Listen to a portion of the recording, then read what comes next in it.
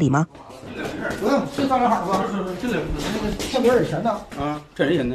那个找那分刘东海执行局的，啊，那个执行法官马上过来上上会议啊。我欠谁钱呢？嗯，欠谁钱呢？一会儿别着急，啊，一会儿上。嗯是赵大海吧？欠谁钱呢？陈宝记，啊，欠多少钱呢？你欠欠多少钱？你是没数啊？嗯一共是两万四千多，嗯还个八千，嗯，对吧？嗯，这是剩下的，那没没多钱了没，多钱。钱的，你自己心里头两没有数啊欠钱还钱啥事儿啊？你还呢？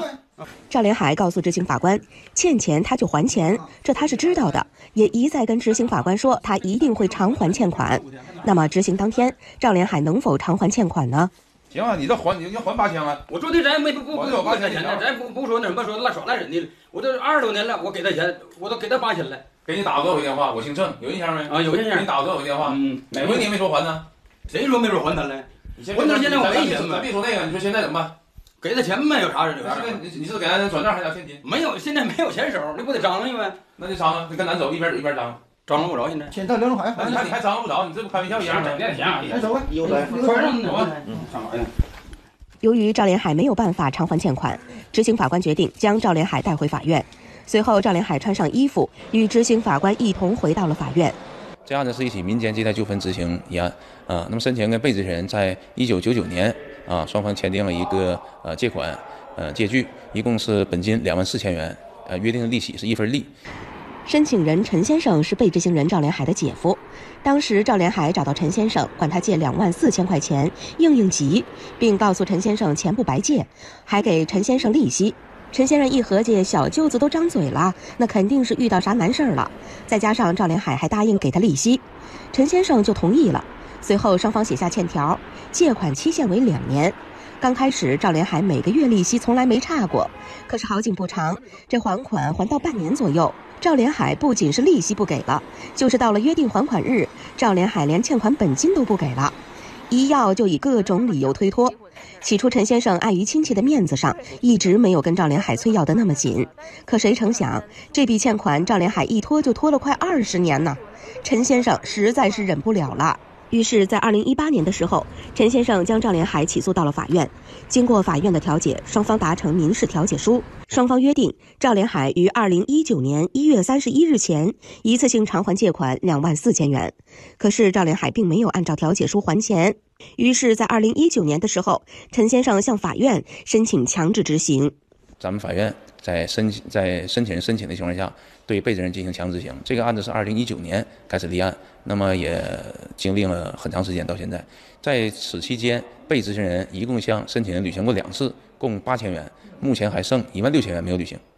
执行法官回忆道，在二零一九年三月份的时候，他们曾找到过赵连海。当时赵连海跟申请人私下达成了和解协议，每个月偿还四千元，直至欠款偿还完毕为止。可是好景不长，赵连海只偿还了俩月，就又没了动静。因为以前吧，咱们多次去被申请人家里去找过他，但是呢，他都没在家啊，一般都是他爱人呢，或者是没有人。那么给他打电话呢，他就推辞，说自己在外地打工，如何如何，也对他采取了呃失信、限高等等一系列措施，包括对他名下的财产也进行了。连海被带到法院后，主动跟执行法官说起了自己的难处。不说这申请人是咱亲戚吗？是不？哦，对呀，啊，我说这个亲戚里道的，咱管管他借这个钱，咱干嘛用呢？那时候开厂用的，啊，投资呗。有的投资了。啊，我给他一部分了，给他原来给他个几千，给他个三四千块钱，完他不承认了，我没那亲戚里道的谁能打条那玩意儿呢？不承认了，完没申，完又给我起诉了，起诉完了我给他，你知道吗？钱不是不给他，嗯嗯，嗯，完了还中间吧，还一个村上欠我的钱，欠我钱吧，完我中间给他一回，我说这钱给你了，归你了，完他哥死了没要出来，完又找我要嘛这钱，就这种事儿，那亲戚里道谁能那么的？就是咱说那意思，咱中间确实还过他钱，还过他钱吗？不承认吗？也没打条也没干啥。对对对，亲戚里道这我姐夫的弟弟，你说谁能用这几千块钱打条啊？都这点事儿吗？你说，他哥吧，当时吧，我跟他修那什么，有有有一份钱没要上来，我说你这钱给你了，你要上来归你了，这钱修自来水我搁那块儿，修自来水啊，一共两万多块钱，我说这钱都给你了，完你哥跟你跟你哥要吧，完他哥也同意了，他哥突然间就死了，就这种事儿，他没要上来这钱，牧神又跟我要这钱，要两要两份可不是那赵连海说，他当时给陈先生的哥哥干自来水的工作，工资大约两万多块钱。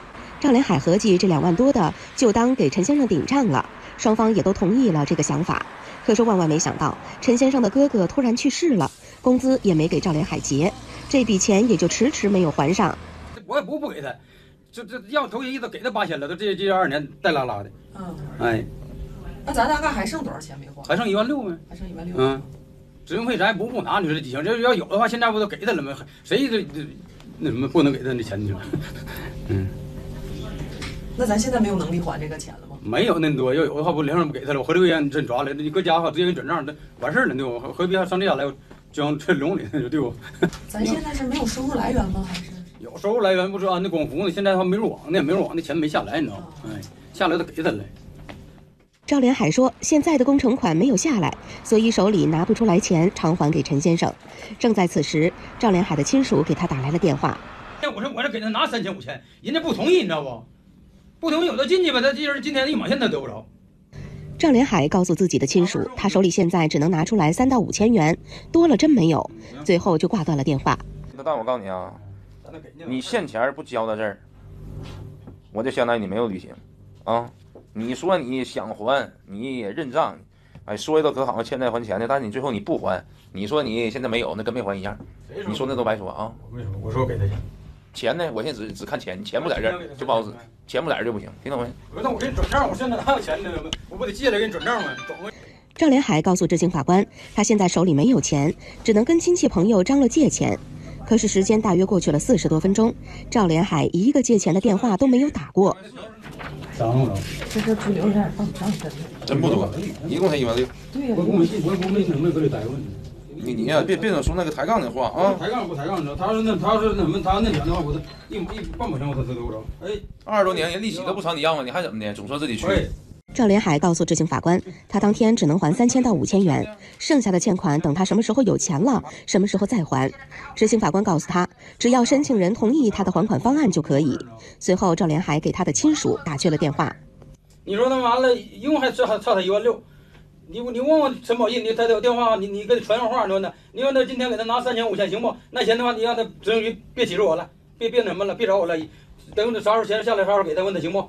不行的话，让他拘留我，一毛钱他得不着。你给我我我原话问他，我说你回回家上那上俺家照顾妈来。你告诉我原话，你知道吗？一毛钱，我十十天半拉月，你说我几年都待了，你说差这几天，我十天半拉月上有啥事儿？我搁那待等等吧，我我搁那待着。啥呀？一毛钱都不给他，臭美的我俩。告诉我什么事儿？告诉我一分钱不给他。你问他，就你现在那那别的无所谓，你知道，欠他钱还他，我只能给他一毛钱不差，我给他。你看我咋整他的，你知道吗？你看着不是说我那什么，你知道？我给他拿钱，你知道？你问问他啥意思？今天，你问问他，我给他拿钱行不？我问他，拿拿个三千三千四千的，问他行不？行的话，完这时候你给他执行局这时候打电话，告诉他执行局你不用管了，执行费啥我一给，剩那钱往后的话啥时候给他，啥时候有啥时候给他，问他行不？他同意了，行，你让让他给他打电话，不同意，咱这钱是不同意的，行不？是，你没听懂都说嘛？没有，我告诉你，你你现在你咱个儿拿不出来钱，我也拿不出来，只能跟我姐拿，我姐还不能理解，一半我还不不那什么，她整不整不明白她，跟他俩还费劲。你现在有咋的？东东没说吗？没有，就是不给他。赵连海让他的亲属帮忙联系申请人陈先生，看看陈先生同不同意他的想法。可是赵连海的亲属却出主意，一分钱都不还。一看话唠到这份儿上，赵连海只能挂断了电话。赶紧研究啊！你也别听周围人谁说这不还那不还的，那都看热闹不嫌事儿大的。有能让他进去，你看他到里边，看他给还钱不？你进去，十天八天，说半拉月。但你进去钱可没没完事儿啊！该结欠钱结欠钱，听懂没？赵连海告诉执行法官，他不是不想还钱，而是他认为自己已经把钱还清了。可是陈先生却还在跟他要钱，还说他没还清，这才让赵连海气不打一处来。那你调解书你自己签的呀？这不你自己签的调解书吗？这也不是法院判的，这不你自己签的吗？利息都不要啊，全本金。利息不要了，那没有利息啊？借书多少钱呢？借书啊，你你知道啥时候？你知你你知道？你这上有借据两万四，条你知道？你知道利息一分利，最后你俩呃那个自行达成的协议，一次性给两万四吗？别的没有啊？这不你俩自己研究的吗？你还咋的？你总说还这还那，二十多年了，二十多年，他早早不起诉我，还有点说的，不说的话早起诉我了。你说那都那什么？二十那你别给你调解啊。三三三十年的话都没有说的话，头头五年都得起诉，头借完五年都得起诉。那二十多年为啥不起诉呢？还是给他钱了吗？给他条了吗呢？？条有没有？没有条，有啥条啊？那你跟你那什么的话，跟跟你姐夫的弟弟弟整整啥还要条啊？哪有打条啊？那那是你自己，那是你自己缺乏法律意识，那你干什么？头头三头二年前那打球啊，那不打条哪有那什么？那你都借钱的时候打条了，你就还还钱为什么不打条？还钱时候一千两千的话要的话给他了，打啥球？那你自己看，你到我要法院这儿，你给对方钱，你这几千块钱我全给你打条，你不打你能说明白吗？呃，据我们了解，呃，被执行人呃自己说，在呃一九九九年至今，在期间偿还过那个申请人一部分钱，但是说的应该是偿还的给他哥哥，啊、然后呢，但是他并没有相应的证据，所以在呃申请人起诉之后，嗯，那个他拿不出证据情况下，那么他现在也认可这两万四千元，嗯。如果真像他所说的，就是他期间确实还过钱，他怎么来维护自己这方面的权益呢？嗯，正常，你看咱们呃平时民间借贷，你可能借钱会打一些借据，对吧？那还款还款，我肯定也要打一些收据收条。如果他要是真能拿出相应的收据收条，那咱们法院也是会认可的。执行法官告诉赵连海，如果执行当天偿还不了欠款的话，那么将会面临强制拘留的惩罚。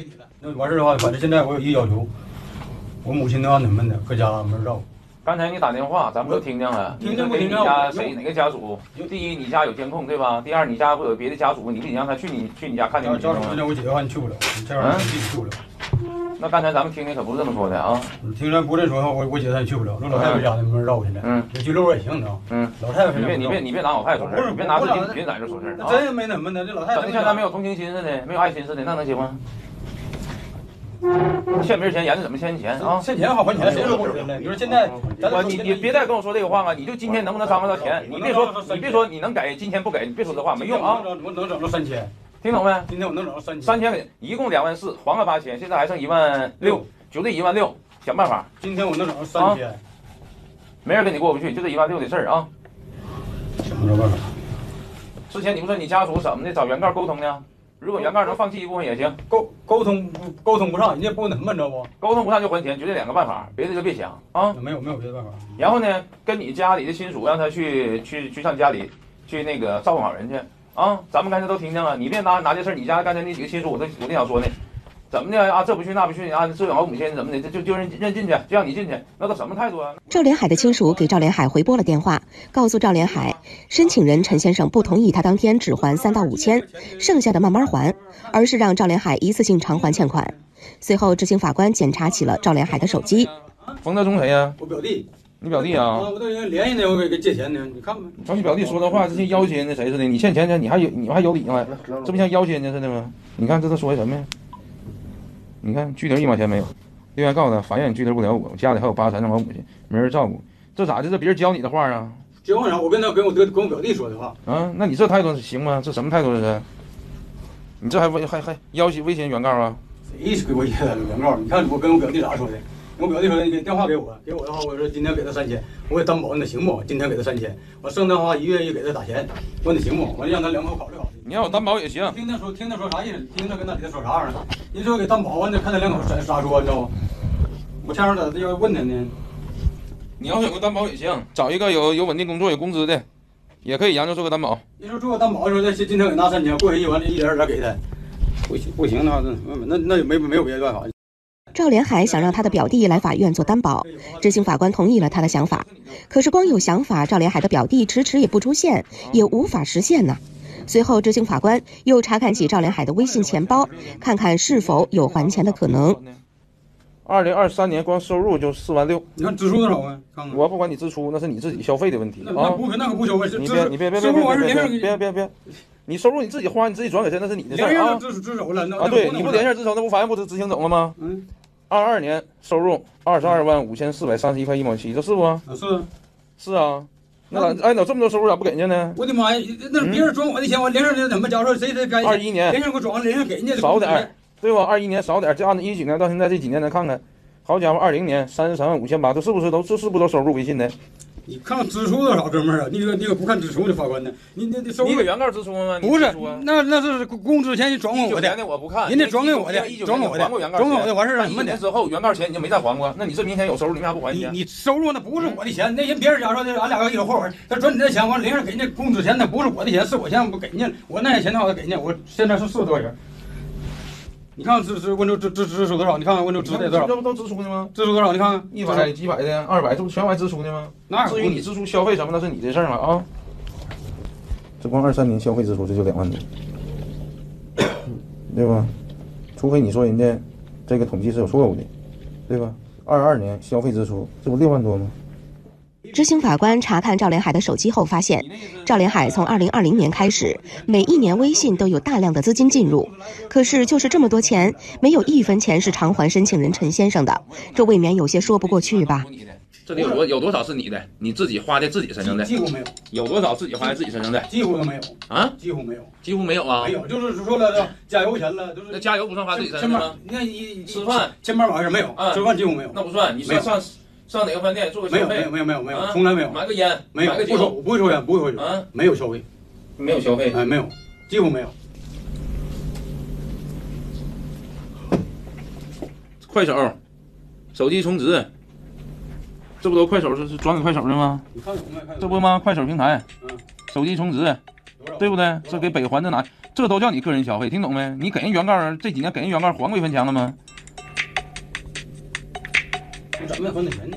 这几年你还了吗？这不便利店吗？这不液化气吗？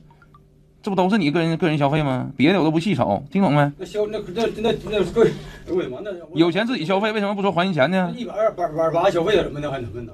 那你这百八的看着不多，但对你这一万六千块钱当中，那你这占的比例肯定不小。赵连海有钱却不偿还给申请人，在看到证据后，赵连海不再说话。随后，执行法官看赵连海仍是没有还钱的意思，于是准备对赵连海采取强制拘留措施。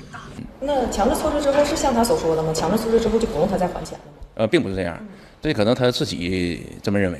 强制措施采取之后，他依然还要偿还这个被欠被告这个欠申请这个钱，嗯，这义务是要一直履。